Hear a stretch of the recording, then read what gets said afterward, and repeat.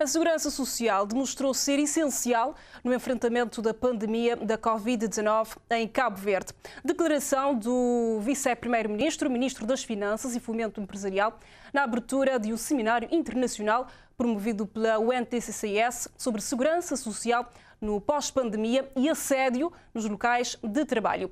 Olavo Correia anunciou no evento a decisão do governo em aderir à Convenção 102 da OIT.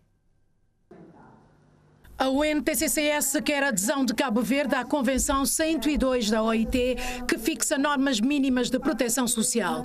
Um tema na ordem do dia e que requer paz social e consensos entre os sindicatos para que juntos possam ter capacidade de negociação. No país, há ainda um fosso de género no capítulo da proteção social, uma percentagem de mulheres do setor informal, empregadas domésticas e do setor digital está fora do sistema, desafiando o governo a implementar com caráter de urgência a formalização do setor informal e alargar a cobertura da proteção social universal. Nós queremos que uh, todas as mulheres do setor informal, como as empregadas domésticas, tenham esse direito à, à previdência social, porque uh, só beneficia a família e o país de uma maneira geral. Mas temos que ir paulatinamente andar com os nossos pés. E Cabo Verde, nesse aspecto, uh, reforço, no âmbito de uma concertação social muito importante, teve de facto respostas à altura daquilo que nós vimos noutras partes do mundo. Mas há uma, uma, uma das medidas a serem adotadas é a formalização do setor informal, que emprega a maior parte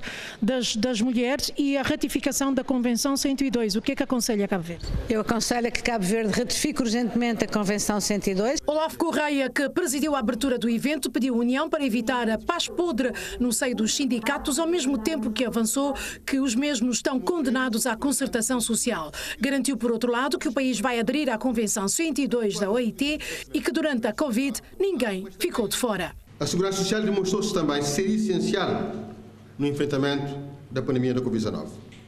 Nós criamos o rendimento solidário e atingimos mais de 4.215 trabalhadores do REM, do Regime Especial para Micro e Pequenas Empresas e Empregadas Domésticas, com um despendo de mais de 42 mil contos.